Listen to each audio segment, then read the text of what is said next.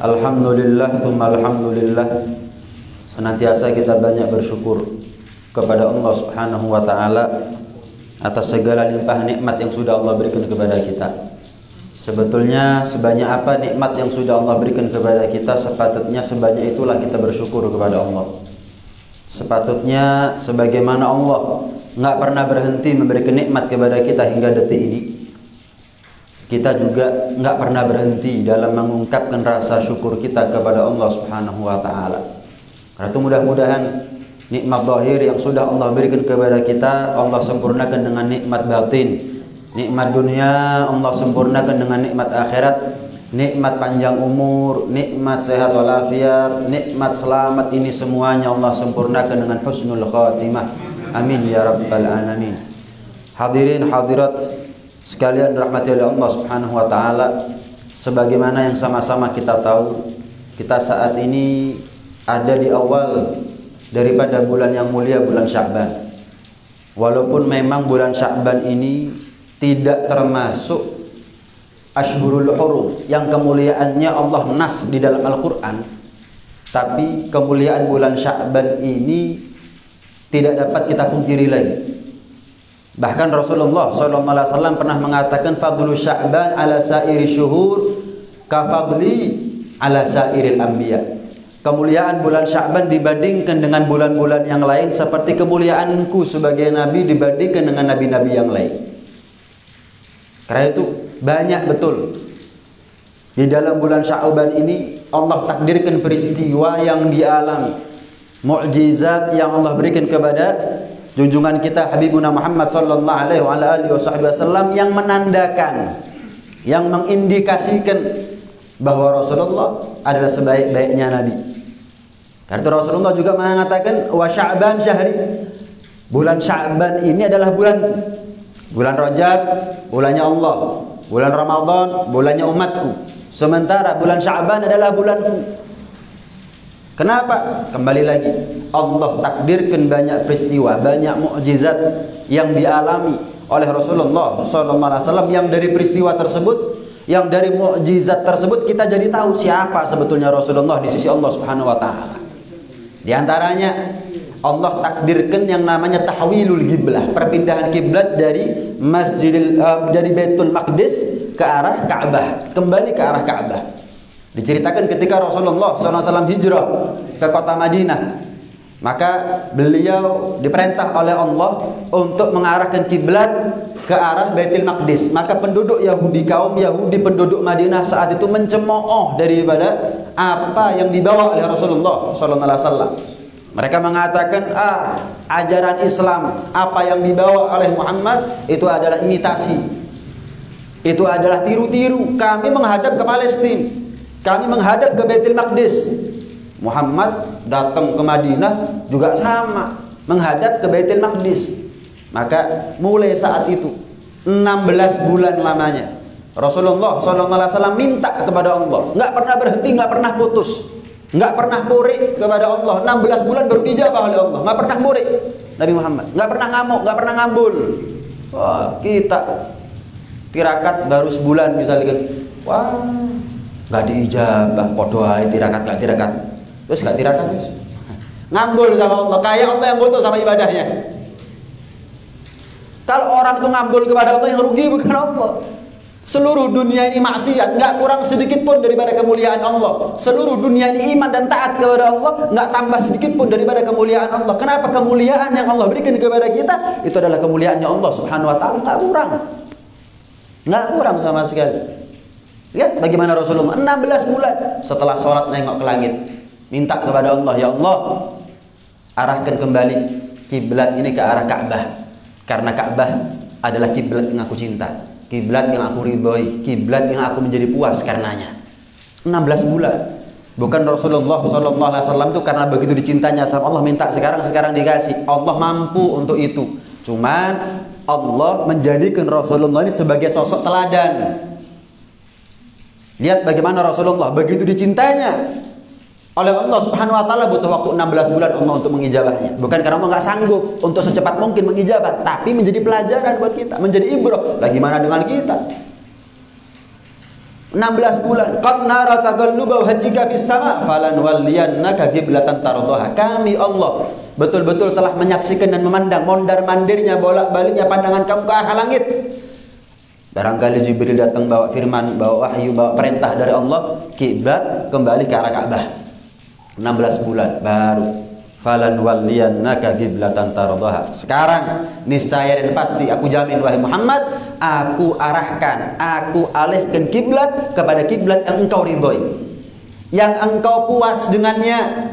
Sehingga Siti Aisyah mengatakan, "Ma ara rabbaka ya Rasulullah illa yusari'u fi ridha." Tidak pernah ya wahai Rasulullah wahai suamiku aku melihat Allah sebagai Tuhan lebih bergegas di dalam memenuhi kecuali memenuhi apa yang menjadi permintaan wahai Muhammad sallallahu alaihi wasallam. Apa yang diminta oleh Rasulullah dikasih. Dalam urusan kiblat, dalam urusan kiblat. Walillahil masyriq wal maghrib. Mau barat, mau timur, mau utara, mau selatan, mau atas, mau bawah, itu semuanya seluruh penjuru dunia, alam semesta, dunia akhirat miliknya Allah Subhanahu wa taala. Tapi Rasulullah minta dikasih oleh Allah Subhanahu wa taala. Sehingga ulama mengatakan kalau ini urusan kiblat lagi mana urusan umat. Wala saufa yu'tika rabbuka fatarallah. Allah urusan kiblat saja memuaskan dan membuat rela serela-relanya, membuat ridho puas sepuas-puasnya kepada Rasulullah dalam urusan kiblat, apalagi urusan umat. Adakah yang lebih penting buat Rasulullah lebih daripada urusan umatnya?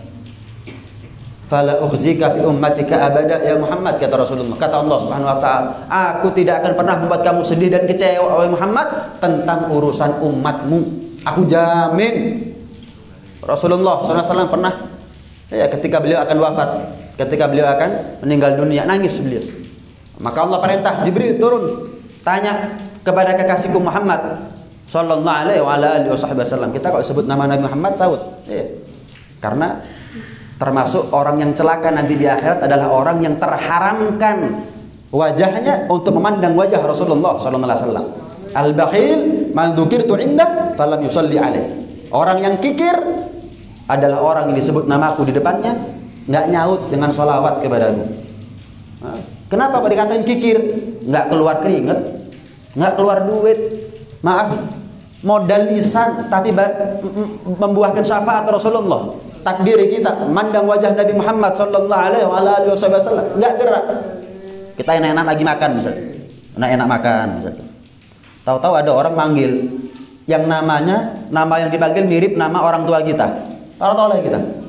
Ini manggil bapak saya manggil ibu saya ada respon kenapa nama yang dipanggil ada di hati nama yang dipanggil kita punya ikatan batin kita punya ikatan emosional dengan dia. Nama orang tua saya, nama bapak saya yang dipanggil, nama ibu saya. Oh, bukan, orang lain namanya mirip. Lah kita disebut nama Nabi Muhammad. Nah, kalau gini kan enak. Rasulullah seneng. Rasulullah itu seneng kalau kita kapan dengar nama Nabi Muhammad kita menyahut dengan solawat kepada Rasulullah Sallallahu Alaihi Wasallam sebagai bukti kalau kita punya ikatan batin dengan Rasulullah. Bukti kalau kita cinta sama Rasulullah adalah ketika sampai ke telinga kita nama mulia Nabi Muhammad nyahut dengan solawat. Ada respon dari kita, tanda cinta itu namanya. Naam.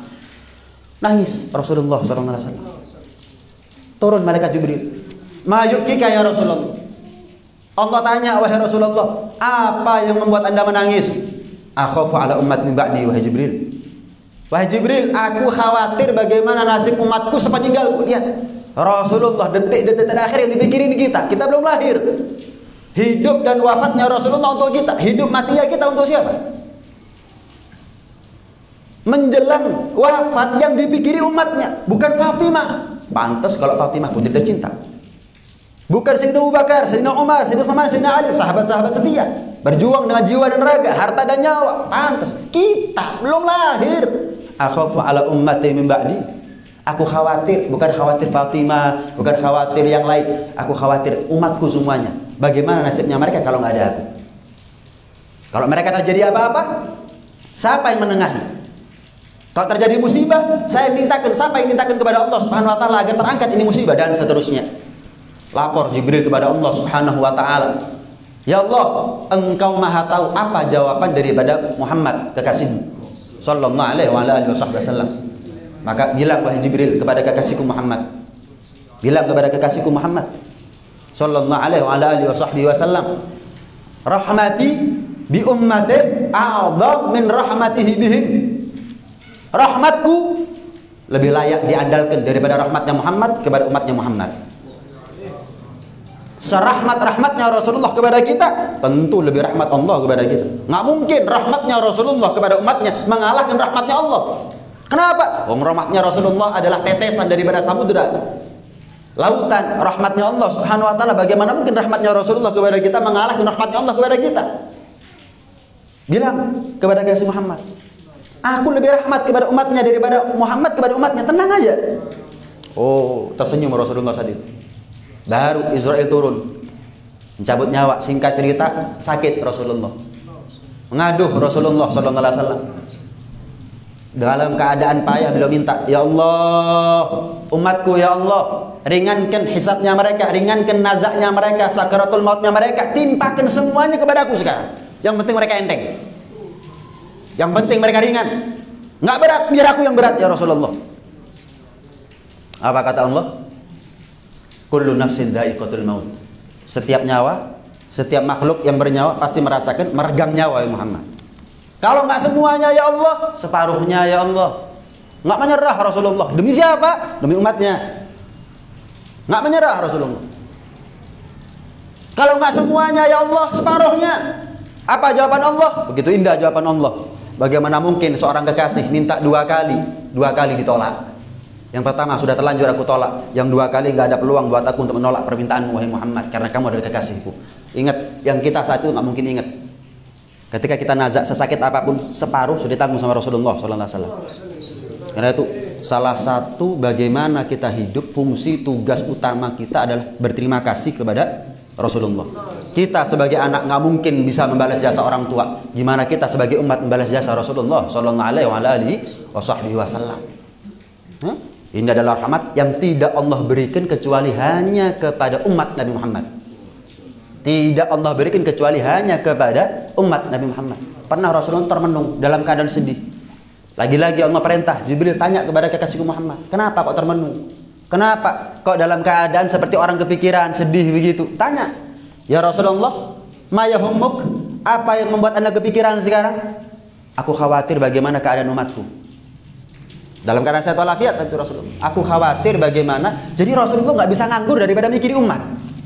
Nggak bisa nganggur, nggak bisa sedetik saja nggak mikiri umat, nggak bisa. Mau dalam keadaan sakit mikiri umat, mau dalam keadaan sehat mikiri umat, mau, mening mau meninggal ini mikiri umat. Ya Allah, umatnya nggak pernah mikiri beliau lagi. Umatnya nggak pernah mikiri beliau. Jangankan yang sunnah, yang wajib kocar kacir. Waliyadzubillah min dzalik.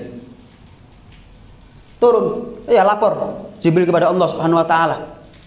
Ya Allah, Engkau Maha tahu apa jawaban kekasih Muhammad sallallahu alaihi wasallam. Engkau Maha tahu ya Allah. Apa jawabannya? Maka dikatakan, "Inni ja'altu amra ummatika ilaik." Jibril sampaikan kepada Muhammad ya. Kalau begitu mulai sekarang urusan umatnya urusannya Muhammad dah. Urusannya kita ini biar urusannya Muhammad aja. Aku sebagai Tuhan yang menciptakan mereka, yang memberikan rezeki kepada mereka, yang memberikan hidup kepada mereka, yang menjawab doanya mereka, aku gak ikut. Wes biar urusannya Muhammad, jangan lagi pikiran mana. Lihat bagaimana Allah nih. Biar aku pasrahkan seluruh urusan umatnya kepada Muhammad. Mau masuk surga semuanya terserah, mau masuk neraka semuanya terserah, ada yang masuk surga, ada yang masuk neraka terserah. Tapi Rasulullah cerdas. Anta arhamu bihim minni ya Allah. Engkau lebih rahmat kepada mereka umatku ya Allah daripada rahmatnya aku kepada mereka. Lihat. Bukan, oh ya ya Allah biar urusanku saja. Enggak Nabi ini cerdas. Kalau Allah memasrahkan nasib umatnya bisa selamat dengan rahmatnya Rasulullah, gimana nasib umatnya? Kalau umatnya mengandalkan rahmatnya Allah Subhanahu wa taala, ya Allah engkau lebih rahmat kepada mereka daripada rahmatnya rahmatnya aku kepada mereka ya Allah. Enggak ya Allah, tetap maka Allah mengatakan aku tidak akan pernah mengecewakan kamu wahai Muhammad dalam urusan umatmu.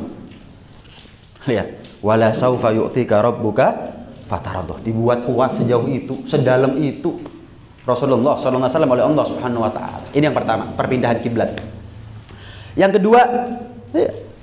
yang kedua adalah terbelahnya bulan menjadi dua. Nabi Musa membelah laut, Rasulullah membelah bulan.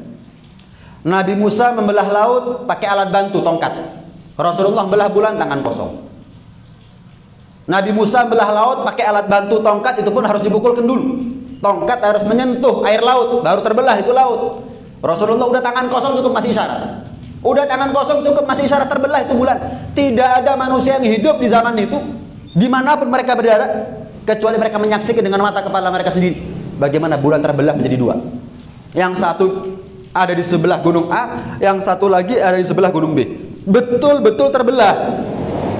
Yang semakin kemari semakin banyak bukti ilmiah yang menandakan bahwa bulan pernah terbelah, bukan pernah retak tapi pernah terbelah betul-betul seperti roti yang terbelah menjadi dua atau apel yang terbelah menjadi dua. Sallallahu alaihi wa alihi. Fajusta kulla fakharin ghaira mushtarakin wa justa kulla magamin ghaira muzdahimi wa jalla miqdaru ma ulita min rutabin wa azza idraku ma ulita min ni'ami. Dalam burda dikatakan apa? Magam, kemuliaan, kedudukan Rasulullah adalah magam kemuliaan dan kedudukan yang melampaui dan mengungguli daripada magam kemuliaan kedudukan seluruh nabi. Rutabun tasqutul amaniyu hasradunaha ma wara'ahunna wara'u. Al-Habib Ali Al-Habsyi dalam maulidnya mengatakan derajat pangkat yang dimiliki oleh Rasulullah adalah derajat pangkat yang didamba-dambakan oleh nabi yang lain. Tapi mereka nggak dapat, Rasulullah yang dapat. Mereka nggak takdir, Rasulullah yang takdir. Mereka nggak dikasih, Rasulullah secara spesial Allah kasih. Sallallahu alaihi wasallam. Dan termasuk di antara kemuliaan yang Allah khususkan hanya kepada Rasulullah ada di bulan Sya'ban adalah turunnya firman innallaha wa malaikatahu yusalluna 'alan nabi ya ayyuhalladzina amanu sallu alaihi wa sallimu taslima kalau malaikat ketika perintah dia mendapatkan perintah dari Allah untuk sujud kepada Nabi Adam itu Allah nggak ikut sujud. Wa idhulna lil malaikati isjudu li Adam, fasajadu selesai. Tapi kapan Allah perintah malaikat salawat kepada Rasulullah sebelum Allah menginformasikan kepada kita wa malaikatahu terlebih dahulu Allah informasikan kepada kita innallaha aku yang menciptakan Muhammad dan juga yang memuliakan Muhammad sudah lebih dulu bersalawat kepada Rasulullah SAW. Baru wa malaikatahu yusalluna ala nabi. Ini mukjizat bukan sembarang mukjizat, kemuliaan bukan sembarang kemuliaan, magam bukan sembarang magam. Ketika Allah perintah malaikat untuk sujud sama Nabi Adam itu hanya berlaku seumur hidup sekali. Nggak ada malaikat sampai sekarang yang masih sujud, yang sedang sujud sama Nabi Adam. Kenapa? Karena Allah Maha benar terhadap firman-Nya, sadaqallahul azim. Maha benar Allah terhadap firman-Nya. Fasajadu fi'il fi'il madhi, kata kerja lampau, past tense. Dulu pernah malaikat sedang sujud kepada Nabi Adam. Sekarang tidak ada satupun malaikat yang sedang sujud, masih sujud kepada Nabi Adam. Tapi kalau kita sebaliknya bertanya, apakah ada malaikat yang sedang masih terus lanjut senantiasa nggak pernah putus bersalawat kepada Rasulullah? Jawabannya banyak. Malakun satu malaikat. Malakani atau malaka ini dua malaikat. Allah berfirman dengan wa malaikatahu. Malaikatun banyak malaikat. Entah berapa banyak malaikat yang Allah ciptakan secara khusus mereka bersolawat kepada Rasulullah Sallallahu Alaihi Wasallam. Dan ketika Allah perintah kita sholat, Allah nggak sholat. Allah perintah kita puasa, Allah nggak puasa. Allah perintah kita zakat haji, Allah nggak zakat nggak haji. Jelas, karena Allah adalah al-ma'bud bihak. Kita yang nyembah, kita yang ibadah. Nggak wajib bagi Allah untuk melaksanakan apa yang Allah perintah sendiri. Enggak, Tuhan kok bebas-bebas aja. Nyuruh kita sholat, Allah nggak sholat ya bebas namanya Tuhan. Memangnya kita sholat untuk siapa kalau bukan untuk Allah? Begitu juga dengan ibadah yang lain, kecuali ibadah yang namanya sholawat. Allah bukan hanya memerintahkan kita dan para malaikat untuk bersolawat kepada Rasulullah. Tapi Allah sendiri pun juga turut menghaturkan solawat kepada Rasulullah Sallallahu Alaihi Wasallam yusalluna bukan fi'il madhi bukan kata kerja lampau tapi fi'il mudhari. Ya dulu alal istilzam wal istimrar yang menunjukkan arti kesenantiasaan. Present continuous anda sedang menyaksikan saya sedang ceramah apakah anda tahu kapan saya berakhir ceramah nggak tahu Sama Allah dan malaikat-malaikatnya sedang bersolawat kepada Rasulullah. Sampai kapan? Gak ada yang tahu. Karena Al-Quran tidak terbatas. Kalamnya Allah nggak terbatas oleh ruang dan waktu. Nggak tahu mulai kapan. Nggak tahu berakhir sampai kapan. Allah dan malaikat-malaikatnya bersolawat kepada Rasulullah Sallallahu Alaihi Wasallam. Sallallahu Alaihi Wasallam. Ketika Allah perintah malaikat sujud sama Nabi Adam, kita nggak wajib sujud sama Nabi Adam. Wajib iman dia. Tapi tidak wajib kita membuktikan keimanan kita dengan wujud sujud sebagaimana malaikat sujud sama Nabi Adam. Tapi untuk Rasulullah, ya ayyuhalladzina amanu sallu alaihi wasallimu taslima. Enggak cukup hanya ngaku iman, tapi bersolawatlah dan haturkanlah salam sebaik-baik salam kepada Rasulullah sallallahu alaihi wa alihi wasallam. Enggak ada salat kalau enggak ada solawat. Doa tertolak kalau nggak ada pelicinnya. Apa itu?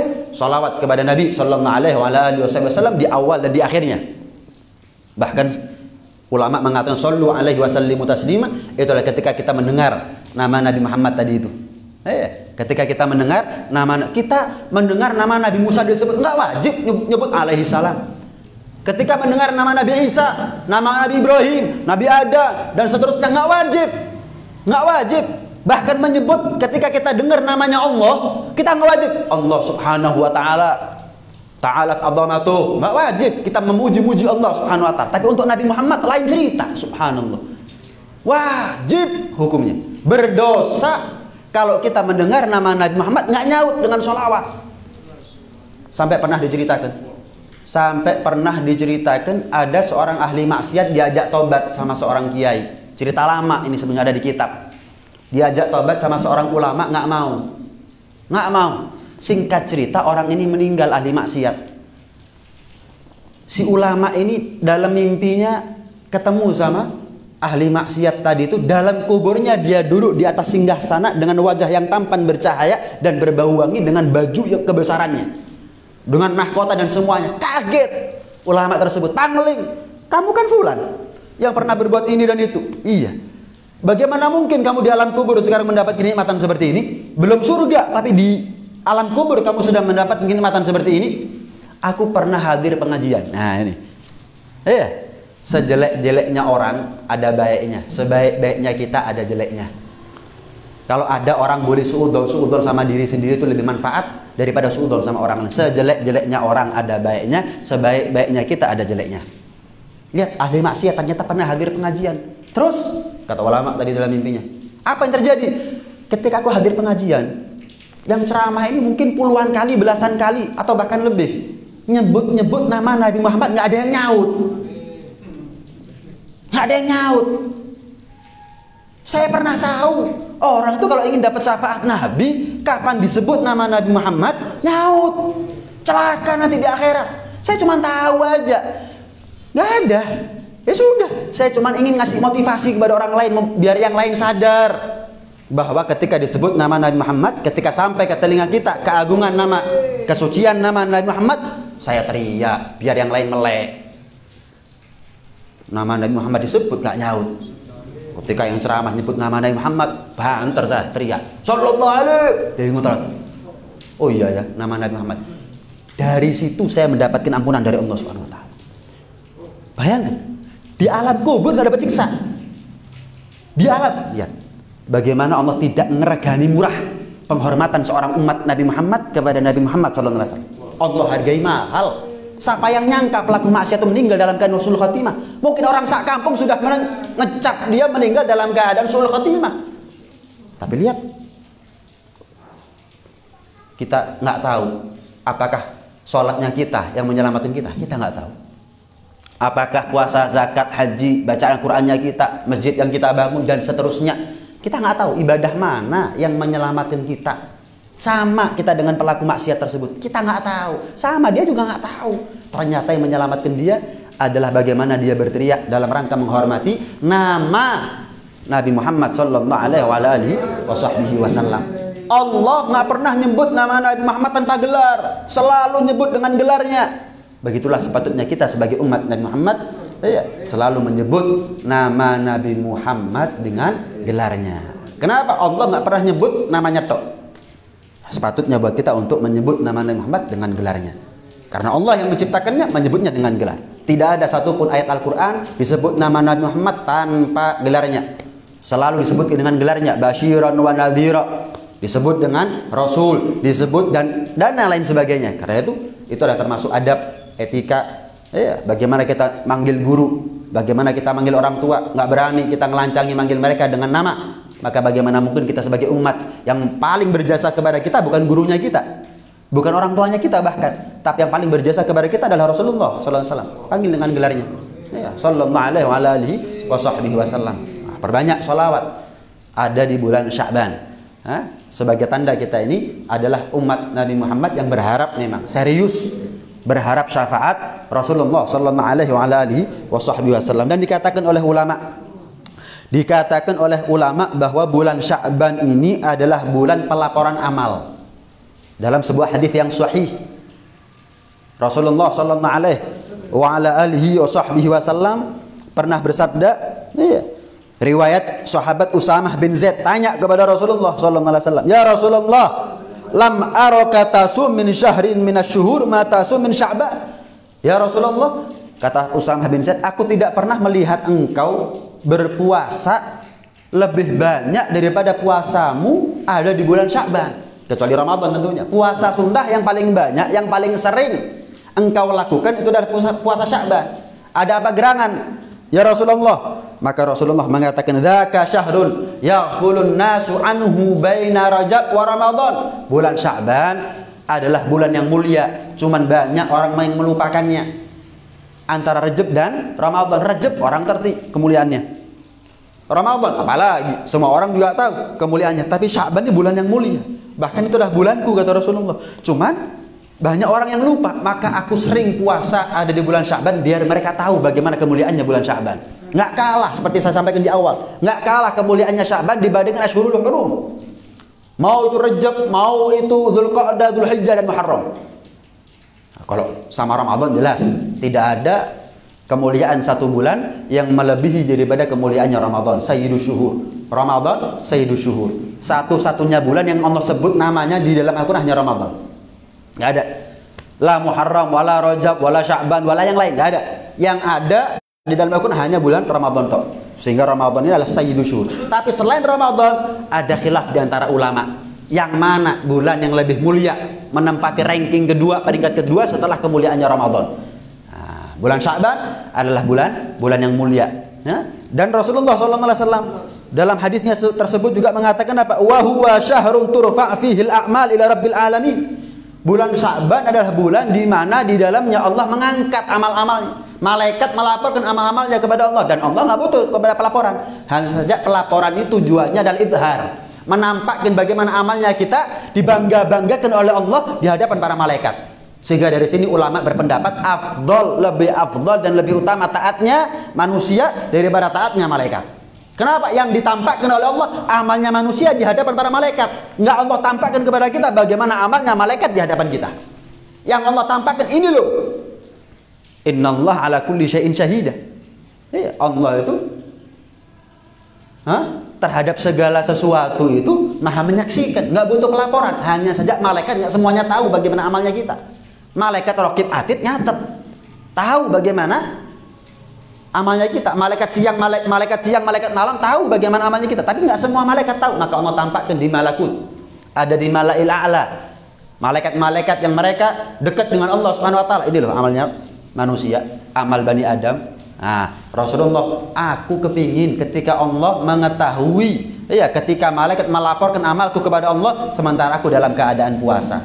Nah, dari sini puasa Sya'ban hadisnya sahih. Nggak ada yang masalah dengan itu semuanya. Tapi puasa Syaban secara umum. Tidak berpuasa di bulan Syaban hanya di, tanggal-tanggal tertentu saja, tapi puasa secara umum saja. Ini ya, puasa secara umum saja. Itu adalah hadis hadis yang sahih. Nah, kemudian ada Siti Aisyah radhiyallahu taala anha wardaha mengatakan ma ra'aitun nabiyya fi syahrin aktsara siyaman minhu fi sya'ban kana yasumuhu illa qalila bal kana yasumuhu kullah Siti Aisyah mengatakan, aku tidak pernah melihat Rasulullah itu sering puasa seperti di bulan Syaban. Bahkan Rasulullah itu puasa terus kecuali hanya beberapa hari. Bahkan Rasulullah itu terkadang di tahun-tahun tertentu puasa Syaban penuh. Puasa Syaban penuh. Banyak hadis yang sahih yang diriwayatkan oleh para perawi bahwa puasa Sya'ban hukumnya adalah sunnah. Ya. Bahkan wa kana ahabbus shaum ilaihi fi Sya'ban. Puasa di bulan Sya'ban adalah puasa yang paling dicinta oleh Rasulullah setelah bulan Ramadan. Puasa yang paling dicinta oleh Rasulullah selain Ramadan adalah puasa di bulan di bulan Sya'ban. Cuman kalau kita puasa Sya'ban, nah perlu diperhatikan. Kalau kita puasa di bulan Sya'ban perlu diperhatikan dalam hal kalau kita puasa lebih daripada separuh bulan Sya'ban. Lebih daripada separuh bulan Sya'ban. Misal, kalau tanggal 16 kita mau puasa, itu kan sudah masuk separuh kedua bulan Sya'ban. Maka kalau dari tanggal 1 sampai tanggal 15 kita nggak puasa sunnah sama sekali, maka hukumnya kita 16, 17 dan seterusnya sampai akhir Sya'ban kita nggak boleh puasa sunnah.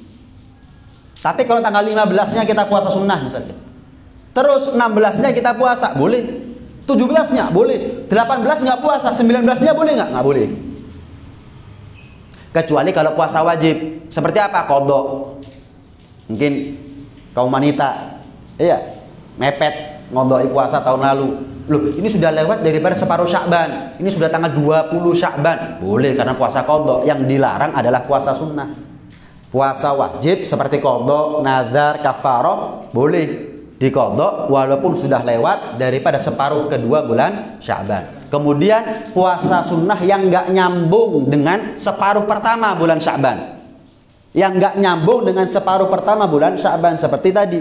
15 puasa nggak puasa. Oh ya berarti boleh 16-nya puasa. Kalau 16-nya puasa, boleh 17-nya puasa. Sehari bolong udah nggak boleh puasa sampai akhir sampai akhir Syaban. Kecuali puasa wajib tadi itu. Kemudian iya, boleh kita ini puasa ada di separuh terakhir, separuh kedua ada di bulan Sya'ban jika itu bertepatan dengan kebiasaan kita puasa sunnah. Misal mulai tanggal 1 sampai tanggal 15 kita nggak puasa sama sekali. Tapi kita sudah punya kebiasaan puasa Senin Kemis. Cuman kebetulan tanggal 1 sampai tanggal 15 nggak puasa. Kok tanggal 16-nya barangkali, 17-nya atau 18-nya? Pokoknya tanggal-tanggal yang masuk di separuh kedua bulan Syaban bertepatan dengan hari Senin atau Kamis dia puasa. Boleh. Kenapa? Dia sudah pernah pernah melakukan yang namanya puasa Senin Kamis sebelumnya. Maka boleh. Walaupun tanggal 1 sampai tanggal 15 dia nggak sempat puasa Senin Kamis. Maka boleh dia lanjut kebiasaannya dia ada di separuh kedua bulan Syaban. Nah, dan bulan Sya'ban inilah bulan bagaimana Allah Iya, mencatat ajalnya manusia. Maksudnya ajal ini begini. Jadi setiap tahun sekali, setiap tahun sekali ada di bulan Sya'ban, Allah itu menampakkan di hadapan para malaikat siapa yang tahun ini bakal meninggal. Jadi malaikat itu nggak tahu secara total, yang tahu secara total hanya hanya Allah Subhanahu wa taala. Sementara malaikat tahunya setiap bulan Sya'ban diperlihatkan oleh Allah Subhanahu wa taala. Oh, tahun ini Syakban sekarang sampai Syakban tahun yang akan datang yang akan meninggal fulan, fulan, fulan, fulan, fulan. Allah perlihatkan kepada para malaikat. Karena itu Rasulullah SAW juga berpuasa ada di bulan Syakban dalam rangka apa? Beliau berharap kalau memang aku meninggal di bulan Syakban, aku meninggal dalam keadaan berpuasa. Ketika aku meninggal di bulan Syakban, aku meninggal dalam keadaan ibadah, taat, beramal soleh kepada Allah Subhanahu Subhanahu wa taala. Nah, banyak hadis yang menunjukkan akan kesunahan daripada puasa Sya'ban. Nah, dan di bulan Sya'ban ini ada satu malam yang mulia. Ada satu malam yang disebut dengan malam nisfu Sya'ban. Bahkan Syekh Abdul Qadir Jailani mengatakan nisfu Sya'ban, malam nisfu Sya'ban lebih afdal daripada Lailatul Qadar. Nih, lebih afdal daripada Lailatul Qadar. Rasulullah SAW pernah mengatakan dalam sabdanya khamsu layalin tustajabu fihinna da'wah ada lima malam yang barang siapa orang berdoa di malam-malam tersebut akan dijabah oleh Allah. Salah satunya adalah malam nisfu Sya'ban, malam pertama bulan Rajab, malam nisfu Sya'ban, kemudian malam Jumat dan dua malam hari raya. Hah? Sayyidina Ali bin Abi Thalib kalau sudah masuk di empat malam, beliau mengosongkan waktunya fokus untuk ibadah kepada Allah Subhanahu wa taala. Empat malam itu adalah malam pertama bulan Rajab, eh, malam pertama bulan Rajab, kemudian malam nisfu Sya'ban dan dua malam hari raya. Itu kosongkan waktunya beliau fokus untuk ibadah kepada Allah Subhanahu wa taala. Karena itu kalau sudah masuk ada di malam nisfu Sya'ban yang insya Allah jatuh malam Senin minggu ini, malam Senin besok. gumu lailaha wa sumu naharaha. Rasulullah dalam hadis yang sahih bersabda memerintahkan kepada kita puasai siangnya kemudian qiyamul lail pada malam harinya. Minimal sholat isya berjamaah sholat subuh berjamaah. Kita mendapatkan cipratan barokah daripada malam nisfu nisfu sya'ban. Ada orang yang terharamkan daripada barokah dan rahmat yang Allah curahkan ada di bulan Sya'ban. Pernah Rasulullah SAW pada malam nisfu Sya'ban sujud karena begitu lamanya sujud sampai Siti Aisyah mengira Rasulullah meninggal dalam sujud. Rasulullah dikira sama Siti Aisyah meninggal dalam sujud karena begitu lamanya. Akhirnya dicubit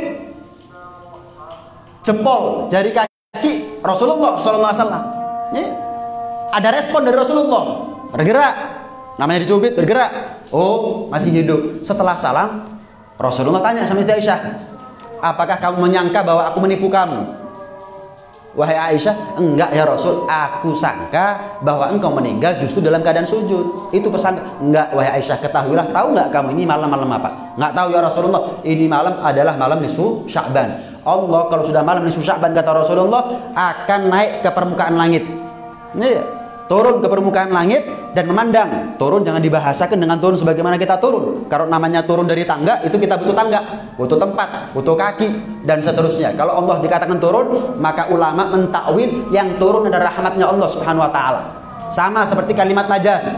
Saya nggak pernah kelihatan batang hidungnya. Apa semuanya kelihatan batang hidungnya atau nggak pernah kelihatan? Enggak, ya semuanya itu majas. Allah menurunkan rahmatnya di malam nisfu Sya'ban dan Allah memberikan ampunan kepada mereka yang minta ampunan dan Allah memberikan rahmat kepada mereka yang mohon rahmat di malam nisfu Sya'ban. Makanya Rasulullah di akhir eh, sujud terakhirnya beliau di malam nisfu Sya'ban memperlama sujudnya dalam rangka minta rahmat dan minta ampunan kepada Allah Subhanahu wa taala. Siapa yang lebih layak? Siapa yang lebih pantas? Siapa yang lebih berhak untuk minta ampunan rahmat dari Allah? Apakah kita ataukah Rasulullah SAW? Ya, tentu kita adalah lebih wajib dari itu semuanya. Kecuali musyrik, orang yang melakukan kesyirikan gak dapat ampunan Allah Subhanahu wa taala. Inna Allah la yaghfiru ayyushraka bihi wa yaghfiru ma duna dzalika liman yasha. Allah itu Maha Pengampun atas segala dosa kecuali dosa kesyirikan. Kecuali musyrik. Yang kedua adalah musyahin, orang yang menebar permusuhan satu sama lain. Paling seneng le ono wong gegeran. Paling nggak seneng kalau suasana atau situasi itu adem ayem. Paling seneng tukang adu domba, tukang fitnah dan seterusnya. Maka dia terharamkan daripada rahmat yang Allah khususkan Eh, ada di bulan, ada di malam nisfu Sya'ban. Kemudian apa? Di antaranya adalah mutminul khamr, orang yang tetap kecanduan sama yang namanya khamr. Hah? Orang yang minum khamr nggak mau tobat daripada perbuatan tersebut, walaupun dia malam nisfu Sya'ban dia alami berpuluh-puluh kali, sedikit pun dia tidak berhak mendapatkan rahmat dan ampunan Allah Subhanahu wa taala. Maka beruntung siapa pun di antara kita yang Sya'ban sekarang kita sudah selesai daripada masa lalu kita. Daripada apa kenakalan kita atau kelamnya masa lalu kita? Alhamdulillah bersyukur. Karena kita ketemu bulan Syaban berarti itu tandanya kita mendapat rahmat dari Allah Subhanahu wa taala. Ummul khaba'ith khamar ini adalah ummul khaba'ith. Jima'ul ithim miftah kulli syar kata Rasulullah. Semua dosa bermula daripada khamar. Pangkal daripada kemaksiatan adalah khamar. Induk dari kejahatan adalah khamar.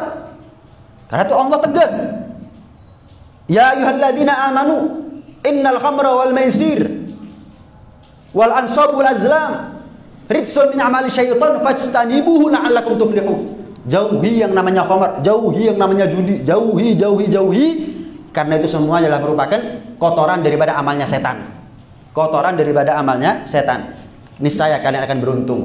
Innama yuridu syaitan Iya, hanya saja Allah, hanya saja syaitan berharap daripada kalian ayyuqi'a bainakumul adawata wal baghdha'a fil khamri wal maisir. Setan itu menjadikan khamr sebagai alat untuk menebar permusuhan di antara kita.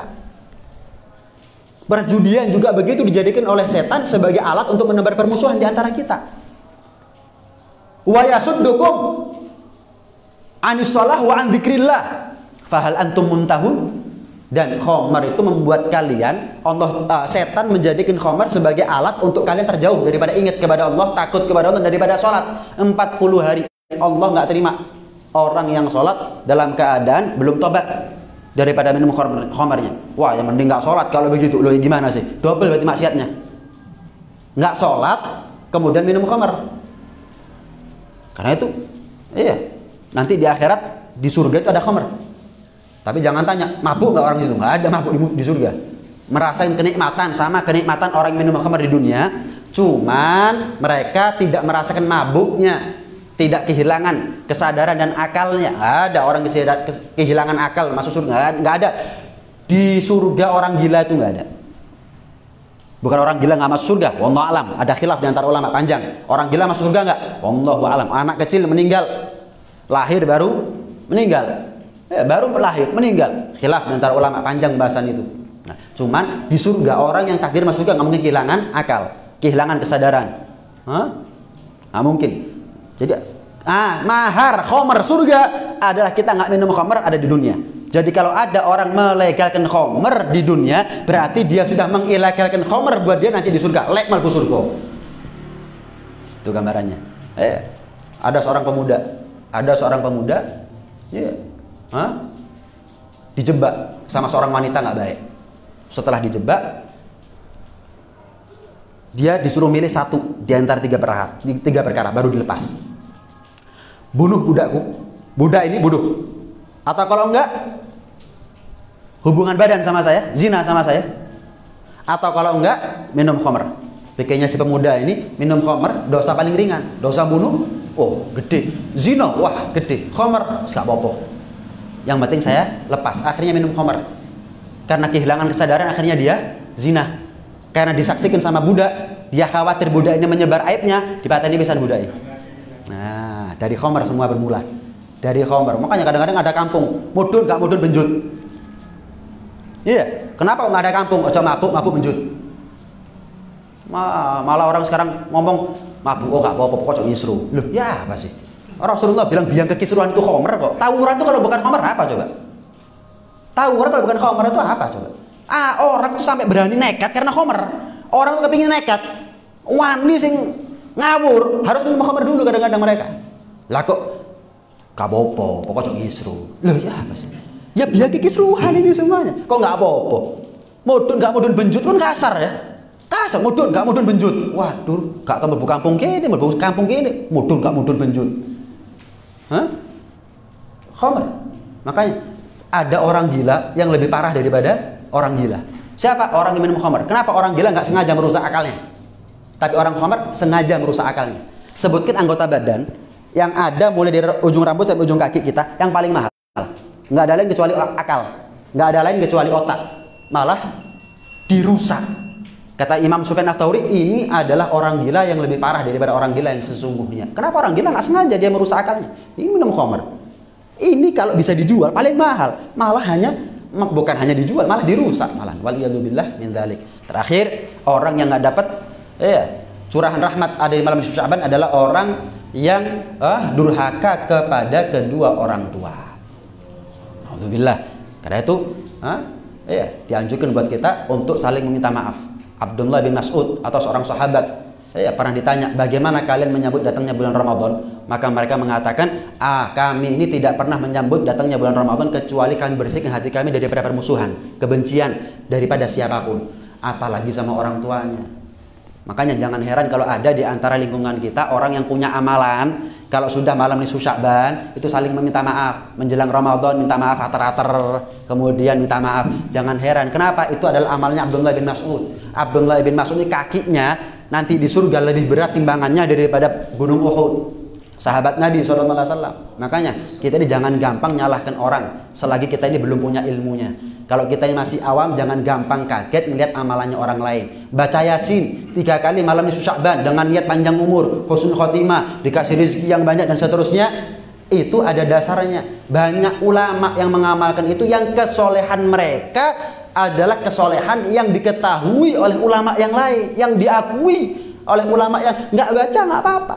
Tapi ada hadis yang mengatakan Yasin golbul Quran. Yasin itu adalah jantungnya Al-Quran. Malah dalam sebuah riwayat dikatakan Yasin itu kalau dibaca sesuai dengan yang baca niatnya apa?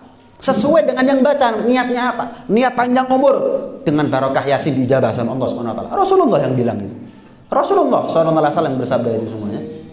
Termasuk doa-doanya. Itu bukan doa karangan siapa, tapi doa kalangan ulama yang kaliber, kapasitas keilmuan, ibadah, kesolehan mereka sudah diakui oleh ulama yang hidup pada zamannya. Maka kita yang bukan ulama jangan gampang-gampang nyalahkan yang kita ini ilmunya nggak seberapa, apalagi amalnya. Hah? Lebih baik kalau nggak ngamalkan nggak apa-apa, tapi jangan keburu-buru nyalahkan orang lain. Apalagi sampai ngafirkan orang lain. Ngafirkan orang yang nggak kafir, yang kafir yang ngafirkan. Ngafirkan orang kafir, kemudian yang dikafirkan bukan kafir, kafir kufur kembali kepada dirinya sendiri. Bumerang. Makanya sebagian ulama mengatakan kalau ada orang yang kita kenal non muslim, kemudian dia pakai sarung misalnya. Perempuan non muslimah kok kelihatan pakai kerudung, terus ada sangkaan, jangan-jangan mualaf. Itu lebih baik daripada kita ngelihat seorang muslim masuk gereja kafir berarti. Misal murtad. Kenapa? memurtadkan dan menganggap kafir orang yang nggak kafir resikonya lebih fatal daripada kita salah berprasangka kepada orang non muslim yang berpakaian seperti orang muslim? Loh muslim dah. Itu lebih baik masih daripada kita loh ini muslim loh ini kok masuk gereja jangan itu fatal akibatnya. Kafir murtad. Loh kalau nggak murtad kalau nggak kafir mungkin dia masuk gereja nggak tahu apa sudah. Ya Hah? Yang jelas dia nggak murtad, yang jelas dia nggak kafir, yang kafir yang ngomong. Waliyadzubillah min Masih lebih mending nganggap orang kafir masuk Islam daripada nganggap orang Islam kafir. Waliyadzubillah min Karena itu mudah-mudahan Allah kasih panjang umur, sehat walafiat buat kita semuanya dalam keadaan taat kepada Allah, patuh kepada Rasulullah sallallahu alaihi wasallam. Ini penutupan. Akhir apa? Akhir ya. Akhir mudah-mudahan ah, kita dipertemukan lagi oleh Allah Subhanahu wa taala uh, di tahun setelah Ramadan ya di bulan Syawal dalam keadaan sehat walafiat panjang umur tanpa kurang satu apa pun mudah-mudahan segenap sesepuh kita juga begitu dikasih sehat, dikasih selamat oleh Allah Subhanahu wa taala. Segenap guru-guru kita khususnya Al Habib Hadi Al Kaf, mudah-mudahan juga dikasih panjang umur, sehat walafiat oleh Allah Subhanahu wa taala. Kita semuanya, keluarga kita semuanya, orang tua kita semuanya, guru kita semuanya, mudah-mudahan mereka semuanya dikasih panjang umur, sehat walafiat, zahir batin dunia sampai ada di akhirat. Ilmu kita dari mereka dijadikan ilmu yang manfaat, ilmu yang barakah zahir batin dunia sampai ada di akhirat. Allah jadikan anak cucu keturunan kita semuanya orang-orang yang teguh dalam pendirian dalam iman dan Islamnya. Kita semuanya mudah-mudahan meninggal membawa iman meninggal dalam keadaan husnul khatimah. Dan mudah-mudahan Allah panjangkan umur kita sampai ketemu Ramadan. Dalam keadaan Ramadan besok lebih manis daripada Ramadan kita kemarin. Amin ya rabbal alamin. Ala hadhihi niyyah wa ala kulli niyyah salihah. Wa ila hadratin nabi Muhammadin sallallahu alaihi wa ala alihi wasallam bi sirri asraril fatihah